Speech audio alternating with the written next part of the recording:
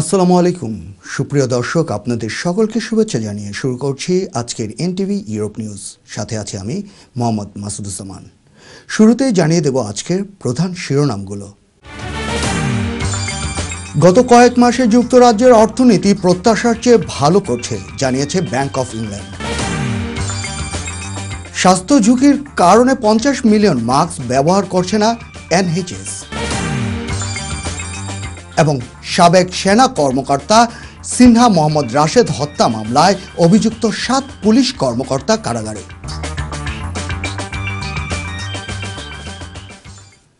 শুনছিলেন শিরোনাম, এবার বিস্তারিত। যুক্তরাজ্যে মহামারী করোনা ভাইরাস মানুষের জীবন কেড়ে নেওয়ার পাশাপাশি অর্থনীতিতেও মারাত্মক প্রভাব ফেলেছে। অর্থনীতির এই ধাক্কা সামলাতে হিমশিম খাচ্ছে যুক্তরাজ্য সরকার। তবে আশার কথা শোনাচ্ছে দেশটির কেন্দ্রীয় ব্যাংক। ভাইরাসের প্রভাবে অর্থনীতি যে মাত্রায় সংকুচিত হবে বলে ধারণা করা হচ্ছিল, তার চেয়ে অনেকাংশে কম হবে বলছে ব্যাংক অফ ইংল্যান্ড তবে এই ধকল কাটিয়ে উঠতে অনেক সময় লাগার কথাও বলছে প্রতিষ্ঠানটি। সংবাদ মাধ্যম বিবিসি জানিয়েছে, নিত্য প্রয়োজনীয় পণ্য এবং পোশাক ক্রয়ে মানুষের ব্যয় করার সক্ষমতা মহামারীর পূর্বের অবস্থায় পৌঁছে গেছে। গভর্নর অ্যান্ড্রু ভ্যালি বলেন গত কয়েক মাসে অর্থনীতি ভালোভাবে পূর্বের অবস্থায় ফিরছে যা মে মাসে আমরা ধারণা করেছিলাম তার চেয়ে দ্রুত গতিতে a, rapid recovery of some parts of the economy over the last two months or so. Now, I don't think that's particularly surprising. I think as you know, as, as various parts of the restrictions get lifted, uh, know, we all start to do things and activity does return. But it's very unevenly distributed, as we know, because it obviously gets relates right back to the you know, the impact of COVID. Those sectors that have got more reliance on you know people and people who work in close proximity or close proximity to you know customers and consumers much more affected. But yeah, the data is showing that there has been a recovery in the economy of that, of that sense. Corona ঝুঁকি মোকাবেলা করার জন্য যুক্তরাজ্য সরকার গত এপ্রিলে প্রায় পঞ্চাশ million mask ক্রয় করে কিন্তু ন্যাশনাল হেলথ সার্ভিস জানিয়েছে, করোনা মোকাবেলায় এই মাস্কগুলো পুরোপুরি ঝুঁকিমুক্ত নয়। সরকার বলছে যে, মুখোশগুলি হেড লুপের চেয়ে কানের লুপের সাথে এটি যথেষ্ট পরিমাণ ফিট নাও হতে পারে। তাই এই মাস্ক ব্যবহারের ঝুঁকি রয়েছে। যুক্তরাজ্য সরকার এই মাস্কগুলো স্বাস্থ্যসেবা কর্মীদের জন্য আয়ান্দা ক্যাপিটাল থেকে দুইশো মিলিয়ন পাউন্ড চুক্তির অংশ হিসেবে কিনেছিল। তবে আয়ান দ্য ক্যাপিটাল বলছে যে মাস্কগুলো সুরক্ষা মান সরকার নির্ধারিত মানের।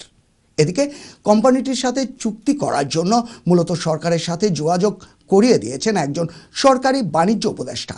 তবে তিনি বিবিসিকে বলেছেন, তার অবস্থান এই চুক্তি সম্পাদনের ক্ষেত্রে কোনো ভূমিকা রাখেনি। গত উনত্রিশে এপ্রিল স্বাস্থ্য ও সমাজসেবা অধিদপ্তর দু ধরনের ফেস মাস্ক সরবরাহের জন্য আয়ান্দা ক্যাপিটাল লিমিটেডের সাথে দুশো মিলিয়ন ডলারের চুক্তি স্বাক্ষর করে। পবিত্র কোরআন শুদ্ধ করে শিক্ষা দেওয়ার অনন্য প্রতিষ্ঠান হচ্ছে দারুল কিরাত মজিদিয়া ফুলতলি ট্রাস্ট। ব্রিটেনে প্রতি বছর সামার হলিডেতে এই কোর্স অনুষ্ঠিত হয়। কিন্তু বৈশ্বিক মহামারী করোনা ভাইরাসের কারণে এবছর ব্রিটেনে দারুল কিরাত অনুষ্ঠিত হচ্ছে না। Latifia Qari society UK and আয়ারল্যান্ডের সাধারণ সম্পাদক মুফতি মাওলানা আশরাফুল রহমানের সাথে কথা বলে এ নিয়ে একটি রিপোর্ট করেছেন সহকর্মী এম এ ফাত্তা চৌধুরী ফয়সল أرأيت الذي يكذب بالدين প্রতি বছর সামার হলিডেতে ব্রিটেনের প্রায় অর্ধশতাধিক মসজিদ কিংবা মাদ্রাসা থেকে দারুল কেরাতের মাধ্যমে এভাবেই কোরআনের সুর ছড়িয়ে পড়ত চারিদিকে।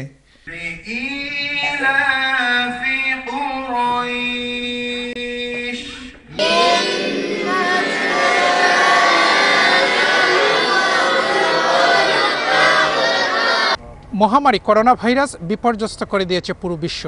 বদলে দিয়েছে মানুষের সামাজিক, রাজনৈতিক, অর্থনৈতিক, ধর্মীয় এবং শিক্ষা জীবন। প্রতি বছর সামার হলিডেতে হাজারো ছাত্রছাত্রীদের কণ্ঠে ভেসে আসতো কোরআনের সুর। কিন্তু কোভিড নাইন্টিনের কারণে এবারে দারুল কেরাতের সব ধরনের কার্যক্রম স্থগিত করা হয়েছে। এনটিভি ইউরোপের সাথে আলাপকালে এমনটাই জানান লতিফিয়া কারি সোসাইটি ইউকের জেনারেল সেক্রেটারি। ইউকেতে সামার হলিডেতে এবার দারুল খেরাত অনুষ্ঠিত হচ্ছে না।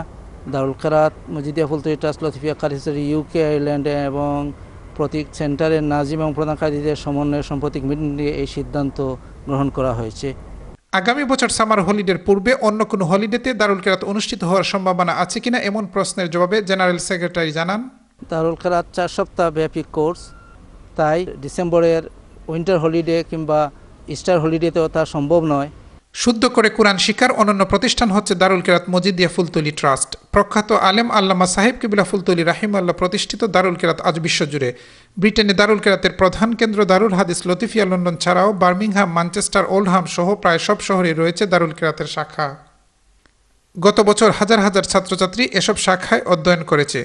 কিন্তু পরিস্থিতি বিবেচনায় এবছরে ছাত্রছাত্রীদের নিজ ঘরেই তাজবিদ সহকারে নিয়মিত কোরআন তেলাওয়াতের আহ্বান জানিয়েছেন মুফতি মৌলানা আশরাফুর রহমান। প্রত্যেকে নিজে নিজে গড়ে ছেলে মেয়েদেরকে কেরাতের শিক্ষা দিবেন এবং সুযোগ হলে অনলাইনেও ব্যক্তিগতভাবে সেই উদ্যোগ গ্রহণ করতে পারবেন। তবে দারুল কেরাতের কেন্দ্রীয়ভাবে কোনো অনুমোদন এবছর দেওয়া হবে না। আগামী বছর সামার হলিডেতে আবারও দারুল কিরাতের মাধ্যমে ব্রিটেনের গড়ে গড়ে কুরআনের খেদমত পৌঁছে যাবে মহান রবের কাছে, এটাই সবার প্রার্থনা। M A Fattah Chowdhury Faisal N TV Europe news. Leicester welfare society লেস্টারের বাঙালি সমাজে একটি সুপরিচিত সামাজিক সংগঠন। জাতি, বর্ণ নির্বিশেষে এই সংগঠনটি মানব কল্যাণে সাহায্যের হাত বাড়িয়ে দিচ্ছে। এই প্রচেষ্টার অংশ হিসেবে সংগঠনটি ওপেন হ্যান্ড ট্রাস্ট পরিচালিত ফুড ব্যাংকে সম্প্রতি তাদের সহযোগিতার হাত বাড়িয়ে দিয়েছে। বিস্তারিত দেখুন আমাদের লেস্টার সহকর্মী মুসলে উদ্দিন খোকনের রিপোর্টে। লেস্টারের হাইফিল্ড অঞ্চল থেকে পরিচালিত ওপেন হ্যান্ড ট্রাস্ট একটি চ্যারিটি প্রতিষ্ঠান। দুই হাজার ছয় সালে প্রতিষ্ঠিত এই সংগঠনটি মূলত সমাজের সুবিধাবঞ্চিত মানুষকে খাদ্য ও বস্ত্রসহ বিভিন্ন বিষয়ে সহযোগিতা করে আসছে। লেস্টারের বিভিন্ন সামাজিক সংগঠন ও অর্থশালীদের সহযোগিতায় ওপেন হ্যান্ড ট্রাস্ট তাদের কার্যক্রম পরিচালনা করে থাকে। So thank you to everyone who's been giving or praying towards this, and we're grateful that we can continue to give the help that's needed right now. সম্প্রতি লেস্টারের সুপরিচিত সংগঠন Leicester welfare society open hand trust পরিচালিত food ব্যাংকে তাদের সাহায্যের হাত বাড়িয়ে দেয় সংগঠনের সভাপতি আলিফুদ্দিন ও সাধারণ সম্পাদক জাহিনুর রহমান বেশ কিছু খাদ্য সামগ্রী ফুড ব্যাংকের কর্মকর্তার হাতে তুলে দেন Hi there, I'd like to say thank you to Leicester Welfare Society for donating food to help us to feed the most needy people of our city. Thank you very much. Corona ভাইরাসের এই সংকটকালে দুস্থ মানুষের সাহায্যে বিত্তবানদের এগিয়ে আসার জন্য Leicester welfare সোসাইটির পক্ষ থেকে আহ্বান জানানো হয় Musle Uddin Khokon NTV Leicester UK দর্শক এবার বাংলাদেশ প্রসঙ্গ সাবেক সেনা কর্মকর্তা সিনহা মোহাম্মদ রাশেদ হত্যা মামলায় অভিযুক্ত টেকনাফ থানার সাবেক ওসি প্রদীপ কুমার দাস ও সাবেক পরিদর্শক লিয়াকত আলী সহ সাত আসামির জামিন নামঞ্জুর করে কারাগারে পাঠানোর নির্দেশ দিয়েছেন আদালত। মামলার দুই আসামি এসআই টুটুল এবং কনস্টেবল মোস্তফা পলাতক। বিস্তারিত দেখুন রিপোর্টে। সিনহা মোহাম্মদ রাশেদ হত্যা মামলার প্রধান আসামি টেকনাফের শামলাপুর চেকপোস্টের সাবেক ইনচার্জ পুলিশ পরিদর্শক লিয়াকত আলী ও টেকনাফ থানার সাবেক ওসি প্রদীপ কুমার দাস সহ সাত আসামি বৃহস্পতিবার সন্ধ্যায় কক্সবাজার সিনিয়র জুডিশিয়াল ম্যাজিস্ট্রেট আদালতে আত্মসমর্পণ করে জামিন চান। কিন্তু বাদীপক্ষের আইনজীবী তাদের জামিনের বিরোধিতা করেন। পরে আদালত আসামিদের কারাগারে পাঠানোর নির্দেশ দেয়। প্রদীপ দাস সহ আত্মসমর্পণ করেছেন। এসআই কনস্টেবল মোস্তফা আত্মসমর্পণ করেননি। মাননীয় আদালত তাদের মামলার গুণাগুণ পরীক্ষা করে। ধারার অপরাধের কারণে মূলত তাদেরকে জেল হাজতে প্রেরণ আজকে। আত্মসমর্পণের আগে আসামিরা পুলিশি হেফাজতে কক্সবাজারেই ছিল। তবে মামলার দ্বিতীয় আসামি প্রদীপ কুমার দাস অসুস্থ অবস্থায় তার কর্মস্থল ছেড়ে বৃহস্পতিবার সকালে চট্টগ্রামের দামপাড়া পুলিশ লাইন হাসপাতালে চিকিৎসা নেন। দুপুরে তাকে পুলিশ হেফাজতে কক্সবাজারে নিয়ে যাওয়া হয়।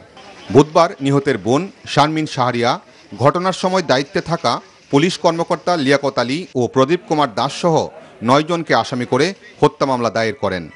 কক্সবাজারের মেরিন ড্রাইভ সড়কে ঈদের আগের রাতে পুলিশের গুলিতে নিহত হন সেনাবাহিনী থেকে অবসর নেওয়া major Sinha Mohammad Rashed Khan.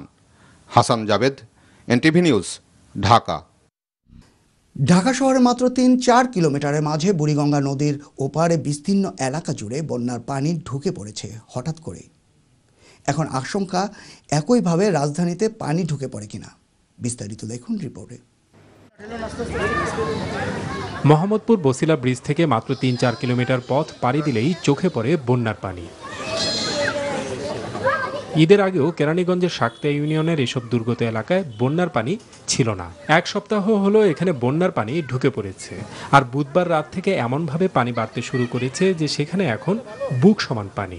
এলাকার অবস্থা খুব নিজেরা সচক্ষে দেখতেছেন এলাকার কি পজিশন এই যে পানি তেমন করে প্রতিটা বাড়ি ঘর তলায় গেছে গা একটা মানুষের বাড়ি থেকে বেরোতে পারতেছে না ঢুকতে পারতেছে না। চার পাঁচ দিন আগে বন্যার পানি এসব এলাকায় ঢুকে পড়লেও বাড়ি ঘরে পানি ছিল না। কিন্তু এখন একটি বাড়িও খুঁজে পাওয়া যাবে না যেখানে পানি ওঠেনি। ঈদের দিন থেকে শুরু হয়েছে ঈদের পরের দিন থেকে মনে হয় ঘরের ভিতরে হাঁটুর উপরে পানি এখন তো আর থাকার অবস্থা নাই। আমরা অনেক কষ্ট করতেছি আর কি। পানির জন্য একটু বাইরে যেতে পারি না ডায়াবেটিস শরীরে মানে অনেক কষ্ট করতেছি আমরা। আজকে কতদিন? এক সপ্তাহ হয়ে গেছে। খাওয়ার পানি এখন যে জায়গায় টোচ আছে সেই জায়গায় টানা হচ্ছে এই আর কি। রান্না বান্নাও কষ্ট কয়েকদিন আগেও এখানে যেসব রাস্তা দিয়ে দিব্যি প্রতিটি বাড়িতে চলে যাওয়া যেত এখন সেখানে নৌকা ছাড়া চিন্তাই করা যায় না। ঢাকা শহরের আশপাশে আগেই বন্যার পানি উঠেছিল, কিন্তু ঈদের পর ঢাকার মোহাম্মদপুর থেকে মাত্র দশ মিনিটের পথ পাড়ি দিয়ে যে এলাকাগুলো রয়েছে, সেখানেও যে বন্যার পানি উঠবে, সেটা আসলে চিন্তাও করা যায়নি। এখানকার মানুষও বলছেন যে আটানব্বই সালের পর তারা এই ধরনের বন্যা আর কখনই দেখেননি। এত কাছে এসব এলাকায় বন্যার পানি আশঙ্কা তৈরি করছে যে ঢাকা শহরেও একইভাবে বন্যার পানি ঢুকে পড়ে কিনা। মোহাম্মদপুর বসিলা ব্রিজ থেকে লক্ষ্য করলে দেখা যায় ক্রমেই ফুসে উঠছে বুড়িগঙ্গার পানি। ঢাকা শহরের ওপারে বেশ কিছু বাজার ও জনপদে বুড়িগঙ্গার পানি ঢুকে পড়েছে হঠাৎ করে। এখন আশঙ্কা একইভাবে সেই পানি নদীর এপারে অর্থাৎ ঢাকা শহরে ঢুকে পড়ে কিনা। Ashiqur Rahman Chowdhury, NTV news, Dhaka. প্রতিদিনের সিলেট।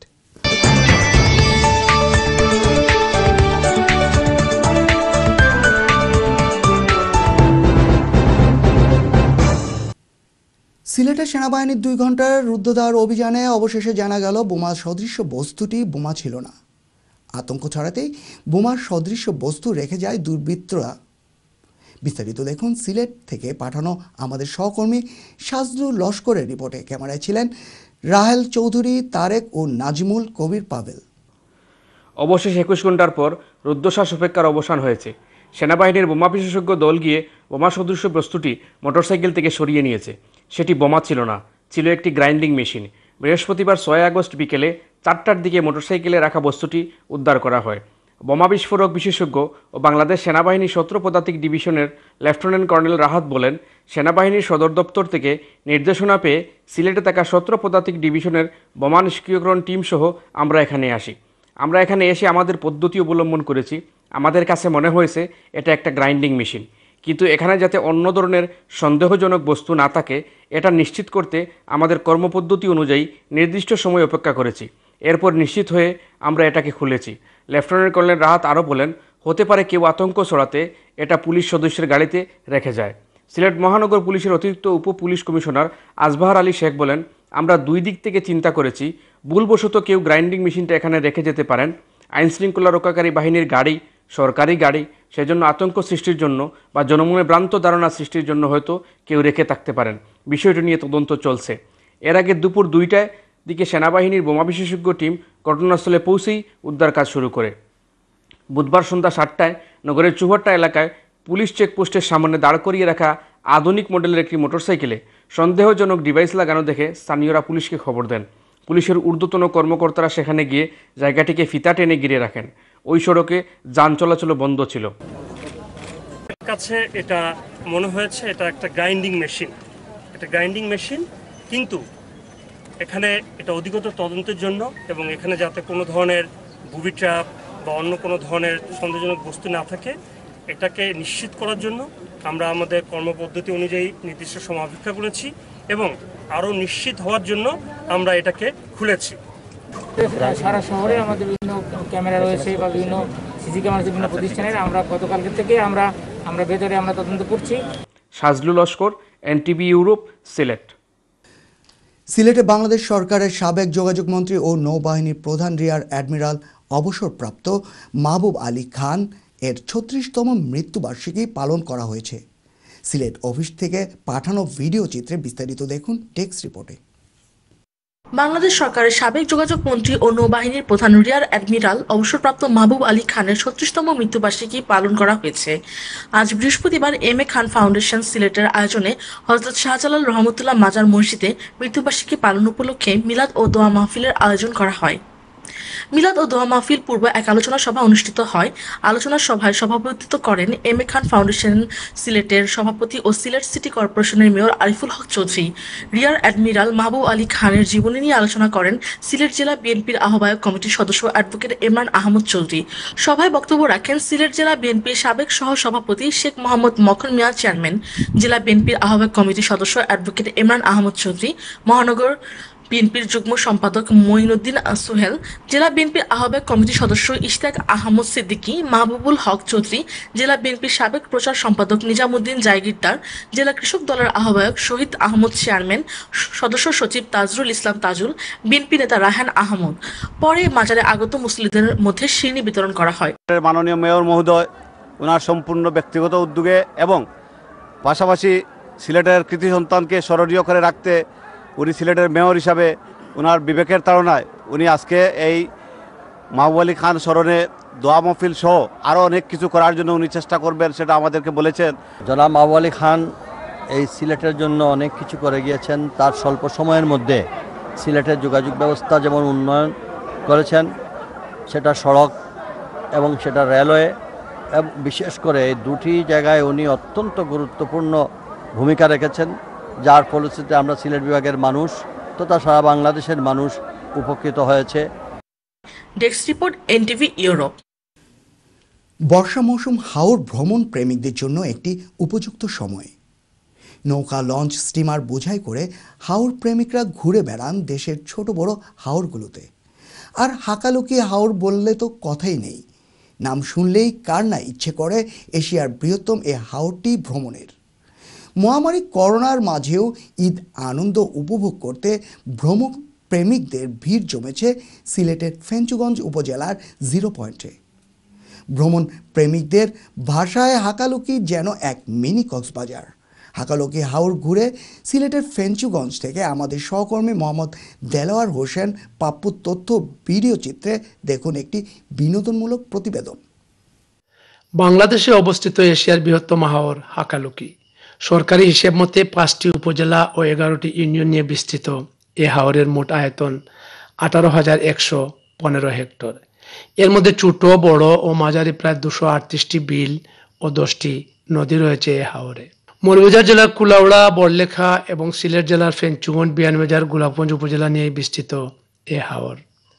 যার সত্তর ভাগ রয়েছে মৌলভীবাজার জেলায় এবং ত্রিশ ভাগ সিলেট জেলায়। বছরে বিভিন্ন সময় বিভিন্ন রূপ ধারণ করে প্রাকৃতিক সৌন্দর্যের লীলাভূমি হাকালুকি হাওর।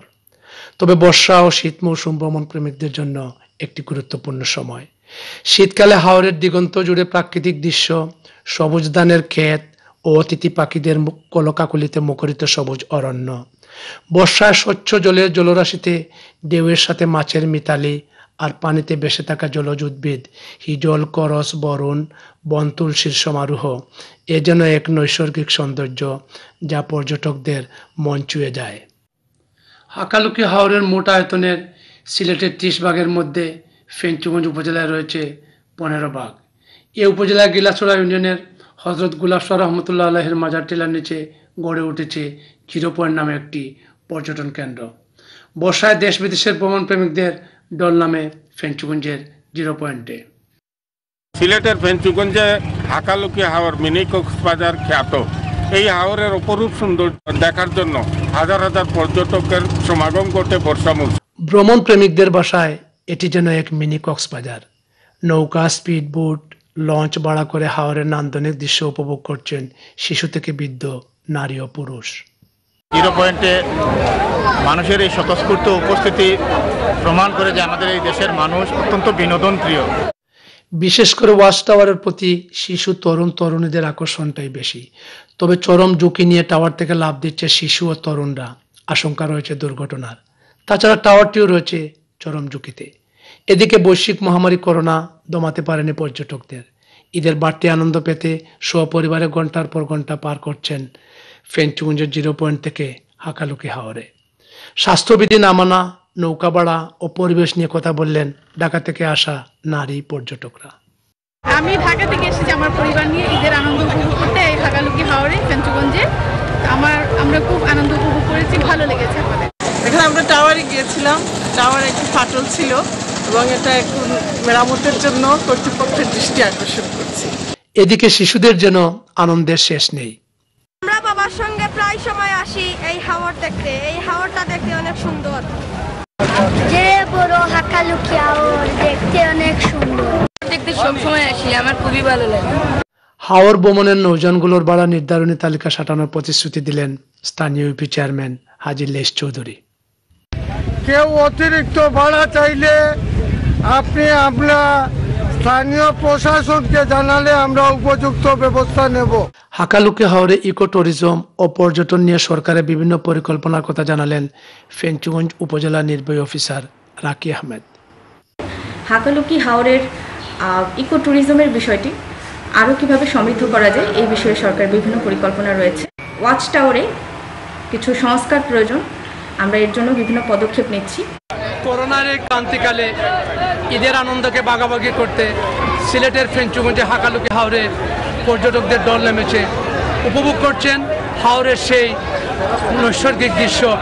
হাকালুকি হাওর থেকে মোহাম্মদ দেল্লা হোসেন পাপ্পু, এনটিভি ইউরোপ, ফেঞ্চুগঞ্জ, সিলেট। জগন্নাথপুরে বৈশ্বিক মহামারী করোনা ভাইরাস সংক্রমণে আক্রান্তের সংখ্যা ক্রমান্বয়ে বৃদ্ধি পাচ্ছে। সরকারের গণবিজ্ঞপ্তির আদেশে স্বাস্থ্যবিধি মেনে চলার কথা থাকলেও অনেকেই তা মানছেন না। মাস্ক ছাড়া বিভিন্ন প্রতিষ্ঠান ও হাট বাজারে লোকজনের অবাধে চলাফেরা করতে দেখা যাচ্ছে। ফলে সংক্রমণ ব্যাপকভাবে ছড়িয়ে পড়ার আশঙ্কা রয়েছে। সুনামগঞ্জের জগন্নাথপুর থেকে আমাদের সহকর্মী মোহাম্মদ আব্দুল হাই জানান, জগন্নাথপুর উপজেলায় মরণঘাতী করোনা ভাইরাস সংক্রমণ ক্রমান্বয়ে বৃদ্ধি পাচ্ছে। এ পর্যন্ত আক্রান্তের সংখ্যা একশো তেরো জন। এর মধ্যে সুস্থ হয়ে বাড়ি ফিরেছে একশো নয় জন। একজন পৌর কাউন্সিলর সহ হোম আইসোলেশনে রয়েছেন চারজন। এদিকে সরকারের গণবিজ্ঞপ্তির আদেশে স্বাস্থ্যবিধি মেনে চলার কথা থাকলেও অনেকেই মানছেন না স্বাস্থ্যবিধি। প্রতিদিন মাস্কবিহীন লোকজনের অবাধে চলাফেরার কারণে শঙ্কিত রয়েছেন অনেকেই। হাসপাতালে করোনা আইসোলেশন ওয়ার্ডে তিনটি কেবিন সহ পনেরোটি পুরু বিশিষ্ট পুরুষ ওয়ার্ড আমরা আইসোলেশনে রেখেছি। সেখানে আমরা চিকিৎসা প্রদান করে যাচ্ছি আমার। দর্শক, সংবাদ শেষ করব। তার আগে আরেকবার জানিয়ে দিচ্ছি শিরোনাম। গত কয়েক মাসে যুক্তরাজ্যের অর্থনীতি প্রত্যাশার চেয়ে ভালো করছে, জানিয়েছে ব্যাংক অফ ইংল্যান্ড স্বাস্থ্য ঝুঁকির কারণে পঞ্চাশ মিলিয়ন মাস্ক ব্যবহার করছে না এনএইচএস এবং সাবেক সেনা কর্মকর্তা সিনহা মোহাম্মদ রাশেদ হত্যা মামলায় অভিযুক্ত সাত পুলিশ কর্মকর্তা কারাগারে। এই ছিল আমাদের হাতে থাকা এনটিভি ইউরোপ নিউজের সর্বশেষ আয়োজন। এই খবরের ভিডিও সহ আপডেট জানতে ভিজিট করুন Europe NTV online W W W dot Europe NTV dot com সাথে থাকার জন্য সবাইকে ধন্যবাদ। আল্লাহ হাফেজ।